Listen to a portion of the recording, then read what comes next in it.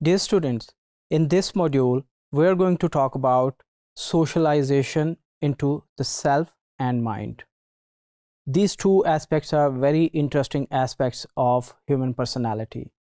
That how our self is constructed and how our mind plays its role while constructing our social self.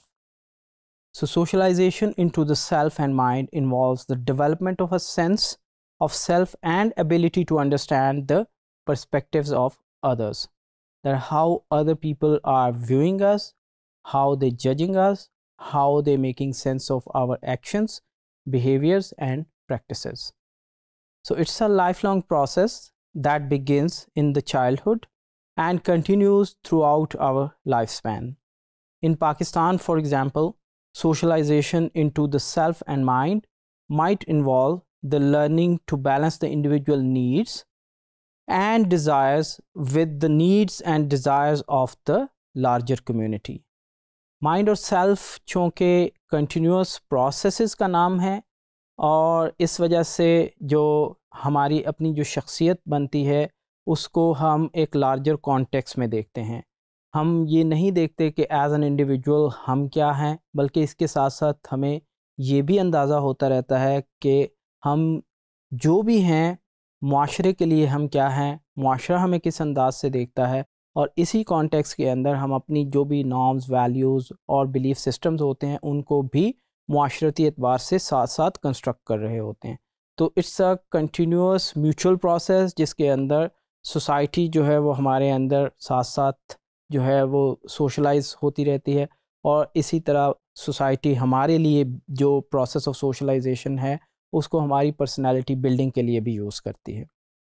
The development of self and mind is shape by both nature like biology and nurture like our external environment तो it's a very interesting aspect of human being that how external environment is affecting our brain and then how this mind construct different ideologies different opinions different values within our mind and that ultimately are reflected through our own social self.